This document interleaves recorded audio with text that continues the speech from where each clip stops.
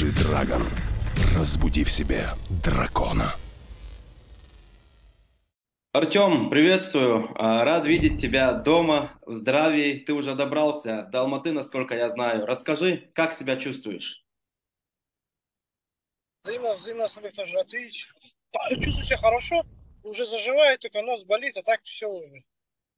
Уже почти, почти зажил, чуть осталось.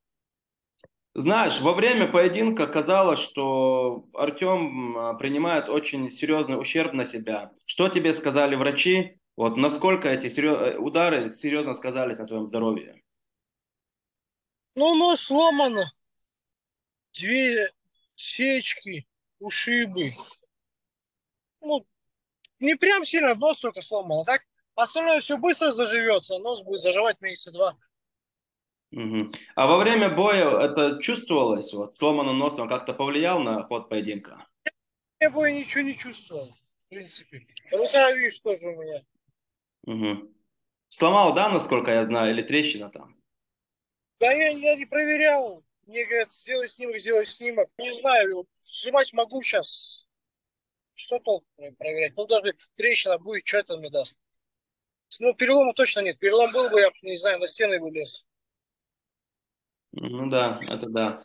Артем, ну и самом, по самому поединку, а, какие у тебя мысли? Уже несколько дней прошло. Думал ли ты над тем, что пошло не так? Почему вот бой не, не удался?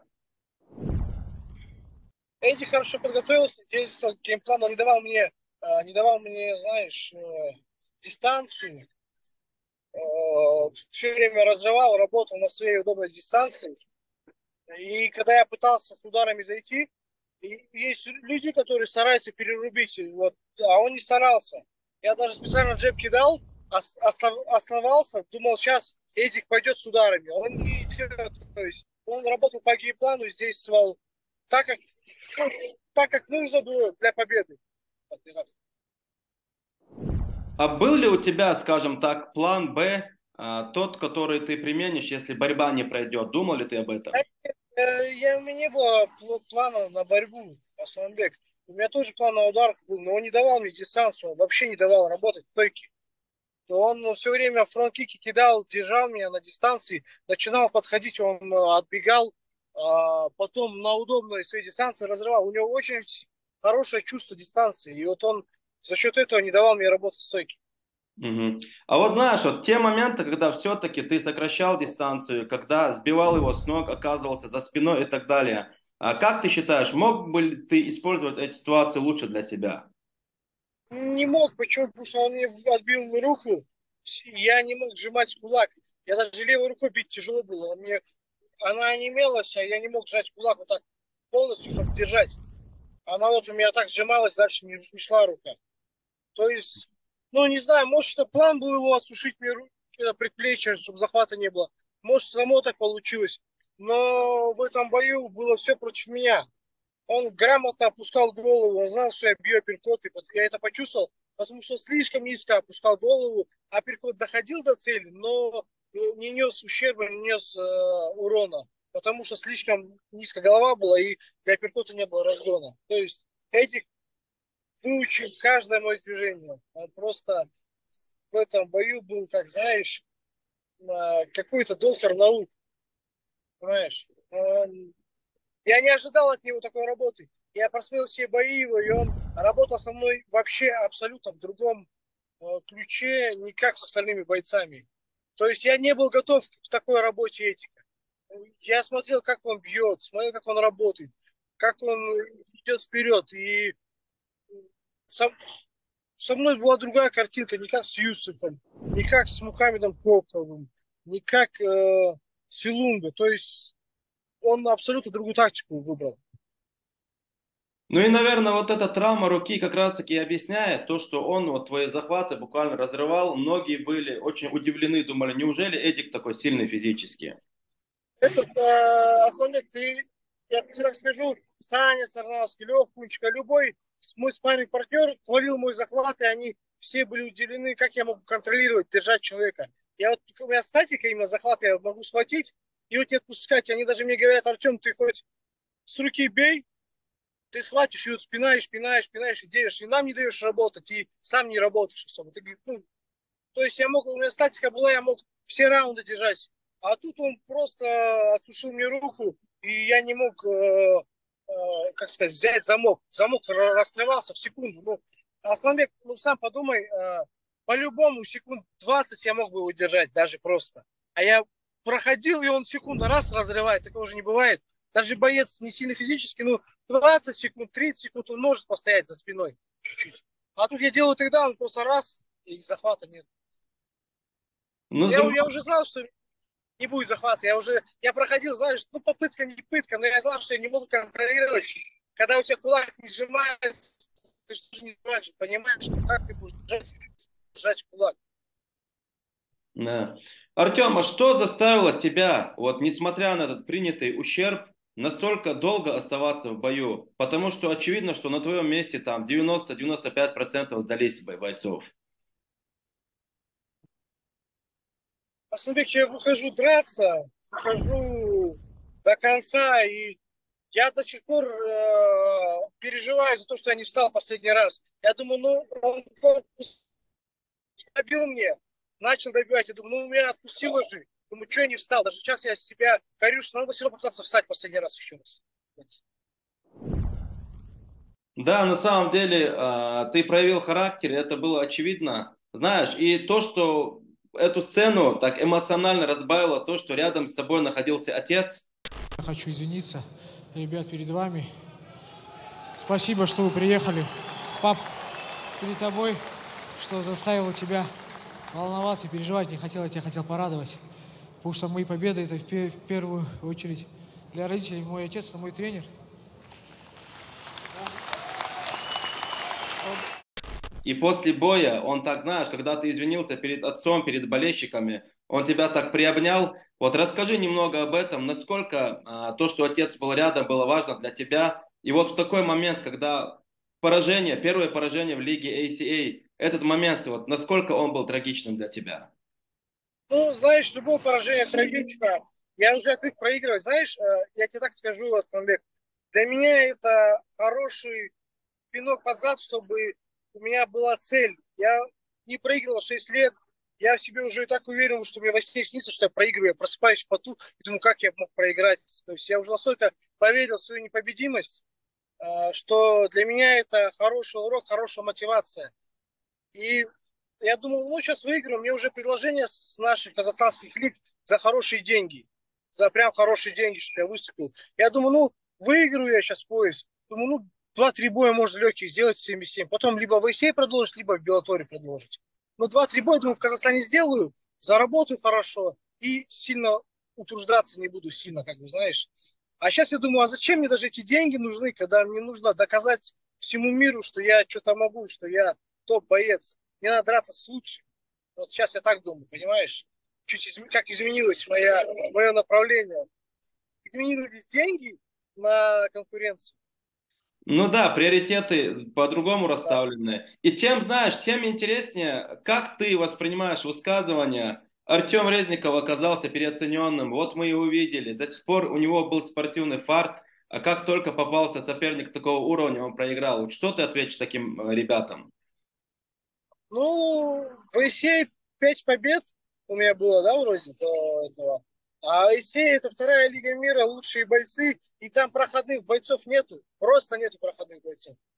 Пусть и ребята, которые говорят это, они просто выйдут в октагон, потому что это говорят только те люди, которые не дрались никогда в октагоне. Бойцы от такое не скажут.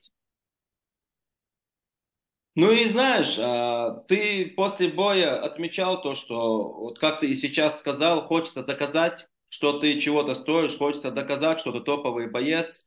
И вот сейчас, мне кажется, как никогда э, актуальна ваша встреча с Али Баговым. Что ты насчет этого думаешь? У вас есть предыстория. И более того, во время поединка, э, я не хочу наговаривать ни на кого, но мне показалось, что Али и его брат очень так серьезно поддерживали Эдика.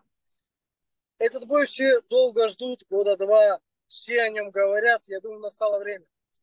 Все, разговоры закончились. И пора, пора этот бой сделать. А примерно вот по ощущениям, когда бы ты хотел подраться когда провести этот бой? Декабрь, я думаю. Ну, смотри, я пораньше подрался, но два месяца мне сказали, нельзя бороться, нельзя ничего делать из-за носа. Ну, ладно, врачи преувеличивают, да, примерно мы понимаем. Но месяца полтора, я думаю, надо лишний раз э, поберечься, чтобы не добить. Месяца полтора, а потом начать готовиться. Примерно начало декабря, середина декабря, такое время. Ну, я в этом году хочу по-любому подраться. Надо закрыть хорошим боем. Ну, тем более, что и сам Али восстанавливается после операции, после операции на колене. И мне кажется, для него это тоже хорошая дата будет. Да, я тоже думаю, да, декабрь идеальная дата, конец года и хорошая вывеска. Артем, еще один Но момент. готов, если, если что, готов на 5 раундов. А, даже так, да? Аж так, да.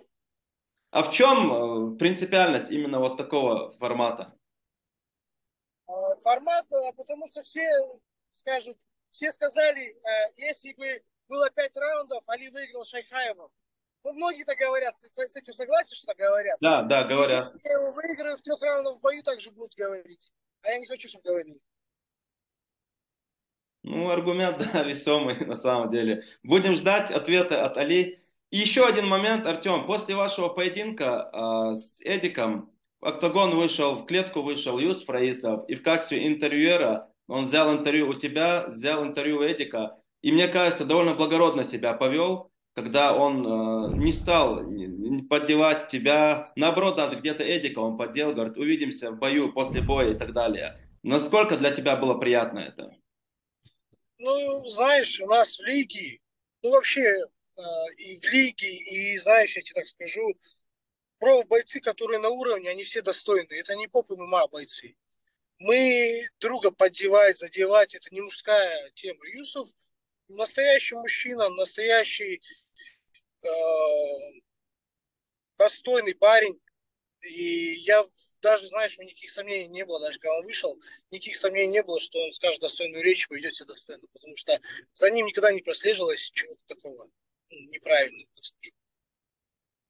В данном случае, учитывая, э, в любом случае и поражение, учитывая не самое лучшее твое состояние, не хотелось бы, знаешь, говорить о деньгах и так далее, но все-таки, мне кажется, это то, что позволяет нам изменить нашу жизнь. Удалось ли тебе э, реализовать свою мечту и купить э, квартиру родителям? Ну, сейчас смотрим, ездим в квартиру, конечно, на... как тебе сказать? Ну, будем смотреть, я, я думаю, на квартиру должно хватить. Мгм. Квартиру должно. Ну, ну да, гонорар, гонорар очень хороший. Такие гонорары я никогда не получал. Это первый. Ну, вообще в ВСА все гонорары хорошие, которые у меня были в Гран-при, но этот особенно. И еще приятно, приятно, что э, повели себя так э, Эдик, повел себя так Нарбек Сулумбекович. И это, знаешь, даже не в деньгах, а во внимании, в первую очередь во внимании. То, что так, Да, так да, сказали, так. Конечно, тем более, знаешь, мы а, перед боем а, с Майрбеком Сулумбековичем общались, и мы говорим, а, Майрбек, тебе нужно выйти, победить, а, наградить победителя, надеть пояс, потому что ты как бы а, тот, кто начал это все. Он говорит, если Артем выиграет, я выйду, говорит, обязательно награжу его. А если нет, говорит, я подумаю, улыбнулся. Но мы все-таки настояли, чтобы он вышел. И на самом деле, мне кажется, болельщики очень много преувеличивали, когда говорили о его отношении к тебе, о том, что, знаешь, ну не, ну не нравится ему прием север-юг. Ну это его мнение. Это же не показывает отношение к человеку. Асланбек, я тебе так скажу, как говорится, одна, одна такая, какой бы ни был фильм, главное хорошая концовка. Концовка была очень все вышли, смотри, и с Юсуфом у нас были недопонимания, с Эдиком были какие-то недопонимания, с э, Марбеком Сулумбековичем, и мы все вышли, и все дружно, дружно поговорили, обменялись э, дружно- дружескими словами, и хорошо все закончилось, вот и все. Да, на самом деле это было очень приятно. Артем, а как ты считаешь, вот понятно, что ты хочешь подраться с Али Баговым, этот бой, он максимально логичный. А что для Эдика Вартаняна ты, как, скажем так, человек, любитель ММА, видишь? С кем бы ты хотел увидеть его бой? Ну, за пояс с ACA, я думаю, на пояс висей. Э, реванш э, с Аблазизом. И как ты считаешь, что этот поединок пройдет сегодня, учитывая тот ход, который набрал Эдик, и то, что Абдулазиз простаивает? Ну, вообще, самое правильно для Абдулазиза был бы бой с Мухаммедом Коку, победитель вышел бы на Эдика. И это было бы правильно, почему? Потому что простой бы э, закончился бы у Абдулазиза. А так тяжело тоже. Эдик провел три боя, а Абдулазиз простоял этот год. Правильно? А Эдик за этот год три боя провел. Сразу уходить, это было бы, знаешь, э, как сказать, наверное, нечестно, что ли. Было преимущество на стороне Эдика. И по-любому Абдулазизу надо провести один бой перед этим боем. Mm-hmm. Все. Там я посмотрел бы, конечно, было бы очень интересно. И ну, я думаю, у Абдулазиза мотивация и он бы лучше себя показал, чем в бою с э, Хакран Диас. Хакран Диас, да. И мне кажется, все-таки, знаешь, а, Эдику неприятны те ребята, которые могут сильно ударить его. Мне кажется, вот это стилистически, как бы, вот этот момент тоже присутствует. Хотя он очень умный боец, да не очень... Знаешь, э, Эдик, э, замечаю, тяжело с теми, кто на него прет и рубится. Кидает удары, прет и кидает удары постоянно. Эдик э, немножко вторым номером плохо работает. Если кто чувствует дистанцию и постоянно накидывает удары, тот может работать. Стилистика очень влияет, да. А если ты не можешь нащупать дистанцию, то с Эдиком сложно. Да. Ну, в принципе, все, Артем. А, что ж, а, финал лиги, э, гран-при в лиге ACA – это очень серьезное достижение. Ты вышел в финал, ты победил в пяти поединках подряд, не хватило немного. Но очевидно, что у тебя будут еще шансы сразиться со всеми топовыми бойцами и доказать свою состоятельность, и доказать, что ты тоже топ. Не расстраивайся, здоровья тебе, привет родителям, на связи. Привет всем тоже, на связи. Все, спасибо большое, удачи, счастливо.